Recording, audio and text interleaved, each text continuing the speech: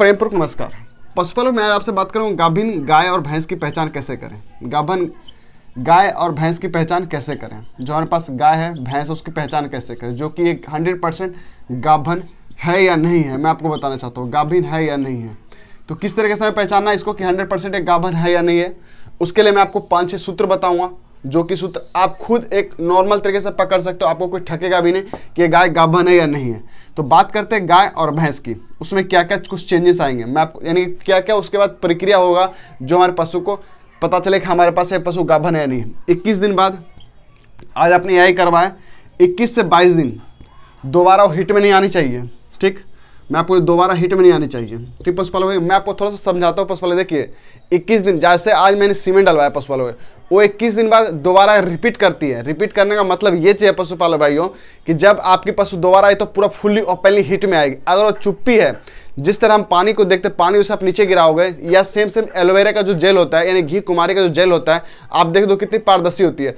उस जेल के माफिक अगर आपको, अगर वो डिस्चार्ज देती है यानी इक्कीस बाईस दिन के बाद तो समझने एक पशु गाभन नहीं है ये हिट में आ चुकी है पशुपालक भाइयों।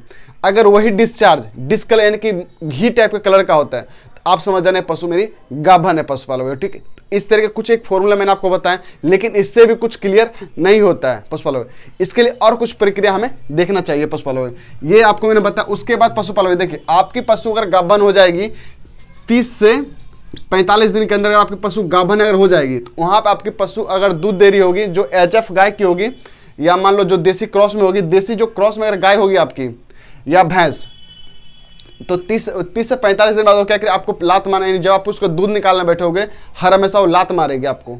हर हमेशा या तो दूध लात मारेगी या दूध लेके पूरा बैठ जाएगी। समझ ऑटोमेटिकली आपको दूध लेके बैठ जाएगी। या दूध आपको निकालने ही नहीं देगी, या आपने वो आपको लात मारेगी। ये आप, अगर आपको पशु लात मार रही है, या आपको दूध लेकर पूरा बैठ गई है, या दूध उसका आधा आधा हो गया, उसी टाइम आप फ़ीड वगैरह सब कुछ सही दे रहे हो तो समझ जाना मेरी पशु गाभन है कितने दिन बाद? तीस से पैंतालीस दिन में एक कहानी शुरू हो जाती है गाय और भैंस के बीच। जो क्रॉस ब्रीड में होते हैं गाय, उनके बीच ये कहानी स्टार्ट होती है। खास करके देसी गाय में चीज़ देखा जाता है पशुपाल में। और भैंस में मुख्तः देखा जाता है। तो कोई कोई भैंस ऐसा जो साठ से साठ से नब्बे दिन में ऐसा कहानी बनाता है, और कोई गाय जो है तीस से पैंतालीस दिन में बनाती है। तो ये एक फॉर्मूला आपको याद रखना है। अगर आपकी पशु जो है, आपने उसको सीमेंट डलवाया है, सीमेंट डलवाने के बाद वो तीस से पैंतालीस दिन में मैक्सिमम आपको नब्बे दिन के अंदर ऐसा कहानी अगर कर रही हो, ऐसा अगर समझौता आप कर रही है, लात मार रही है, दूध नहीं निकालने दे रही है कूद फान कर रही है तो समझ जाना, इसको मैंने एआई करवाया था, अब गाभन हो चुकी है, ठीक? अपने बच्चों को भी ढंग से दूध पीने नहीं देगी हो आप उसका दूध काटने बैठोगे, दूध निकालने बैठोगे, वहाँ पर आपको दूध निकालने नहीं देगी। तो ये दूसरी कहानी होगी पशुपाल अब बात करते हैं पशुपाल और इसका सही तरीका क्या है पशुपाल देखिए, एक तो पशुपाल हो गया, जो गाय का पूछ होता है, आप पूछ जब देखोगे पशुपाल पूछ एक तो ऊपर से पूरी एकदम पतली हो जाएगी, ठीक पूरी पतली हो जाएगी। जैसे आप देखो, जो आपकी पहले पशु थी, अभी की डेट में पशु आपकी पूरी पूछ पतली हो जाएगी। पूछ उसके बाल टूट जाएँगे, जो उसके पूछ के बाल है, उसके बाल टूट जाएँगे पशुपाल में, ठीक? और साथ साथ पशुपाल जो उसकी रीढ़ खड्डी होती है, मैं आपको बताऊँ, जो उसकी रीढ़ खड्डी होती है रीढ़ खड्डी, जब इस पर आप देखोगे ढंग से तो इस पर एक चमकदार रुआ जो होता है, एकदम चमकदार रुआ हो जाएगा पशुपालन जैसे आप अपनी गाय को धूप में निकालोगे तो ये रुआ चमकदार हो जाएगा पशुपालन इससे समझ सकते हो गाय गाभन है पशुपालन ठीक? इसके रुए चमकदार होंगे, रुए इसके ज़्यादा बाल टूटेंगे। ठीक दोस्तों, और साथ साथ पशुपालन जो हमारी भैंस होती है, भैंस को आप देखोगे जो इनका सर होता है, भैंस का सर होता है, सर के पास क्या होता है, वहाँ के सर का इनका बाल उड़ जाता है दोस्तों। यानी को जैसे आदमी गंजा होता है, उस तरह के सर के बाल उड़ जाते हैं, गंजे हो जाते हैं। इससे पशुपाल भैंस को गाभिन माना जाता है। नहीं तो पशुपाल देखिए सिंपल सा तरीका आप सोचते हो कि और भैंस का क्या क्या तरीका है? मैं आपको भी बताता हूँ गाभिन पहचानने का। देखिए, आपकी जो भैंस या गाय है, वो जब गाभन हो जाएगी आपके पास तो वो क्या करेगी? सबसे पहले चीज़ वो करेगी? जो उसकी हीटिंग का टाइम है, जो हिट बार बार करे, वो हिट में आपको नहीं आएगी। और एक चीज़, जब भी आपकी भैंस भैंस या गाय हिट में अगर आ रही है इतना याद रखना 48 से 50 घंटे तक का उसका हिट टाइम रहता है, यानी 50 आवर्स 48 से 50 आवर्स उसका हिट टाइम रहता है पशुपाल यहाँ पे आपको बिल्कुल भी मिस्टेक नहीं करना है। 48 से 50 घंटे का अगर हिट टाइम है हमारे पास, पशु के पास तो आप क्या करो 18 घंटे में आप सीमेन करवाते हो। 18 घंटे में उसको सीमेन करवाते हो, फिर भी तो 30 घंटे पशु हमारे हिट में रही है पशुपाल भाई जब वो 30 घंटे जब हिट में रही है तो आप उसको क्या करो, सुबह में जैसे कि मान लो सीमेन मैंने दिया है, मैं आपको बताता हूँ, सुबह और शाम। ठीक पशुपालक आपको सुबह शाम एक एक सीमेंट फिर से करवाना यानी ए फिर से करवाना अब बोलोगे जी, ये क्या तरीका है? देखिए पशुपालक भाई, आप बहुत मेहनत से गाय, भैंस को तैयार करते हो। जब तैयार करते हो, इक्कीस दिन बाद वो रिपीट कर जाती है, वहाँ पे सबसे बड़ी दुखद घटना यही चीज़ होती है कि साला मैंने इक्कीस दिन तक गाय को रखा और ऐसे से कहानी हो गया पशुपालक भाइयों।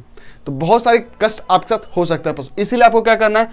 आपने आज ए सुबह में करवाया, फिर एक बार शाम में ए करवा दो, कितने टोटल खर्चा होंगे? मेरे ख्याल से सौ सौ रुपये के आसपास भी खर्चा नहीं हो, क्योंकि एक एक सीमेंट तीस रुपए से चालीस रुपए तक का सीमेंट आता है पशुपाल भाई या आप अच्छी ब्रीड का यूज़ करते हो सकता है थोड़ा कॉस्टली होगा, लेकिन आपको यहाँ पर अपने करवा लेते तो आपको ये चीज़ बचत हो जाता है पशुपालन तो ये तरीका से पशुपालन आप ये करते हो तो आपके पशु गाभन यहाँ पे दिख जाते हैं पशुपालन दूसरी बात पशुपालन देखिए, गाभन जो पशु हो जाएगी पशुपालन ठीक? वो क्या करेगी? अपने बच्चे को जल्दी दूध पिलाएगी नहीं। जो एच एफ़ ब्रीड की होगी वो आपको दूध पिलाएगी। और साथ साथ उसके दूध में नमकीन लगेगा आपको। नमकीन लगे, आपका दूध जो है पशु का नमकीन लगेगा। आप जब उसका दूध पियोगे आपको दूध नमकीन लगेगा। नमक टाइप का ऐसा लगेगा दूध में किसी ने मिक्स करके मुझे नमक दे दिया हो। तो उससे भी पता चलता है कि मेरी गाय गाबन हो चुकी है पशुपाल ये भी तरीका है हमारी गाय को जानने के लिए। लेकिन पशुपाल आपको क्या करना है? जब तक उसका पेट पशु का पेट जो है पेट बड़ा आपको यानी कि मान लो आज मैंने एआई करवाया ठीक? ए करवाया। आप एक सूता ले लो, जो सूत्री होता है, जो धागा होता है, आप उसके पेट का साइज़ को ऐसे राउंड करके नाप लो। आज, नब्बे दिन बाद, या मान लो कम से कम, पैंतालीस दिन के अंदर, उस सूत्री, उसी धागे को फिर से दोबारा नापना। अगर धागे बड़ा, धागे उसके पेट तक नहीं पहुँच रहा है, अगर ये धागा उसके पेट तक राउंड में नहीं पहुँच रहा है, गोलाकार में नहीं पहुँच रहा है, जब पेट में बच्चा है तो ऑटोमेटिकली उसका पेट बड़ा होगा। जब पेट बड़ा होगा, वो धागा यहाँ ऐसे राउंड शेप में नहीं बन पाएगा। तो ये तरीका है, देसी तरीका है, आप इसको ज़रूर याद रखें। एक आप अपने घर में धागा लें, आज अगर आपने सीमेंट डलवाया तो आप उस पशु का नाप लें, या मान लो एक महीना और दो महीने हो चुके आप उसके पेट को नाप लें पशु वालों ठीक? क्योंकि खाना वो कितना भी खाए, खाना उसका निकल ही जाएगा। आप सुबह में पेट का उसका, देखो, पेट उसका खाली रहता है।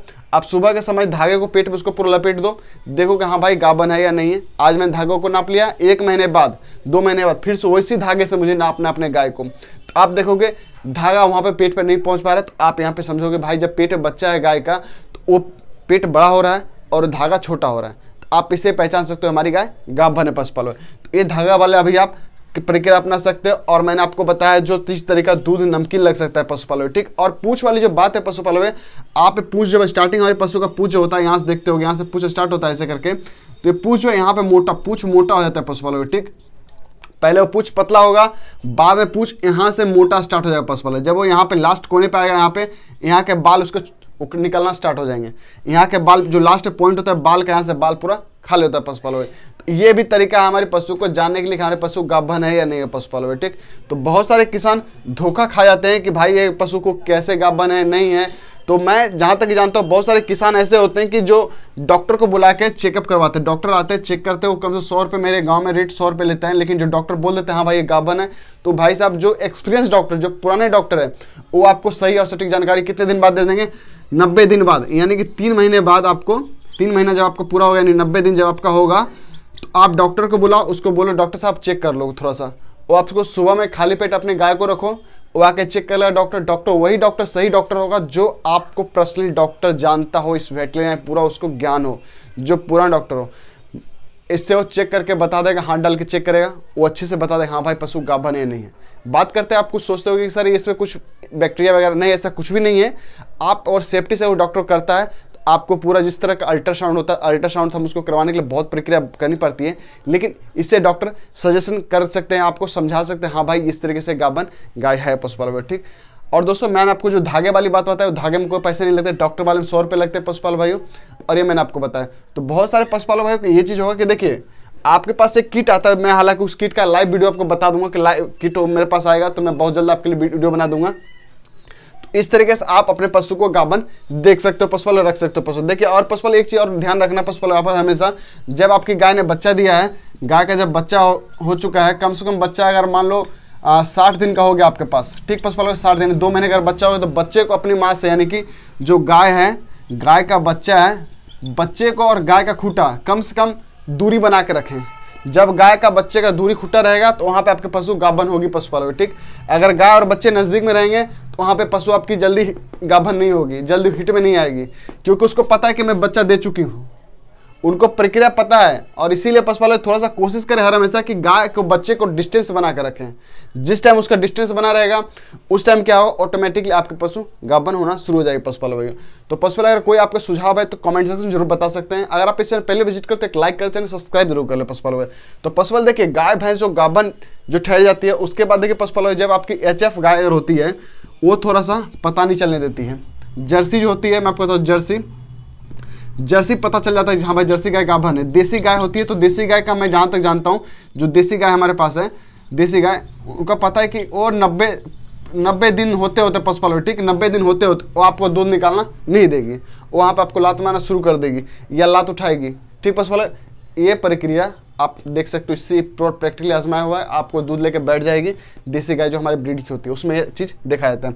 और एचएफ गाय में क्या है कि वो गाभन है नहीं है, वो पूरा दूध देती रहती है। लेकिन इसमें क्या है कि दूध इसका, जब गाभर है तो दूध इसका नमकीन हो जाता है, नमकीन होता है दूध। मैं आपको बताता हूँ। इसका दूध नमकीन होता है। ये जो दूध नमकीन जब आपका हो जाए पशुपाल भाई समझना मेरी पशु गाभन है। ठीक पशुपाल उसके बाद एक प्रश्न इसका किट आता है, मैं उस किट का बारे में पूरा डिटेल्स वीडियो बनाऊँगा पार्ट टू में। तब तक आप पार्ट वन में आपको बताता हूँ। एच एफ़ गाय को जो मैंने आपको बताया, पूछ वाली कहानी बताई है, वो सर के बालों के बारे में बताया, वो साथ ही साथ पशुपालक है उसके पेट का साइज़ पेट का जो साइज़ है, आप पेट को अगर ऐसे करके राउंड करके लपेट देते हो धागा, अगर आपने धागा लपेटा, सुबह में आपको लपेटना है खाली पेट। और ठीक दो महीने बाद, उसी धागे को दो महीने बाद काले ऐसे सेम लपेट देना। अगर वो धागा छोटा हो जाता है, समझ जाना मेरी गाय का पेट बढ़ रहा है, और पेट बढ़ रहा है मतलब उसमें बच्चे पल रहे हैं, और हमारी गाय गबन है। ठीक पशुपाल और जब भी आप सीमेंट डलवाए पशुपाल सीमेंट कोशिश करें कम से कम क्योंकि अभी के डेट में जो भी गाय हिट में आ रही है, अड़तालीस से पचास घंटे, पचपन घंटे तक वो हिट में रह रही है पशुपालन में ठीक आप उसको सीमेंट सुबह शाम तीन चार बार सीमेंट रिपीट कर दिया करें पशुपालक भाई इससे गर्भ धारण करने की समस्या जो है, ये रिपीटर की समस्या वहाँ पे खत्म हो जाती है। साथ साथ आपके पशु गर्भ धारण कर लेते हैं पशुपालक ये वीडियो कैसे लगी पशु कॉमेंट से ज़रूर बताएँ। अगर आप इस चैनल पहले विज़िट करें तो प्यार से लाइक कर सब्सक्राइब ज़रूर कर लें। तो धन्यवाद पशुपालक मिलते हैं नेक्स्ट में। तब तक आप मुझे आगे दें। जय हिंद बंदे मातम राधे राधे। जय पशुपाल भाई पशुपाल भाई थैंक यू सो मच आपने मुझे यहाँ तक सपोर्ट किया और आपने मेरे इतने सारे प्रेरणा सलाह दिया। सबको धन्यवाद करता हूँ दोस्तों। जय हिंद।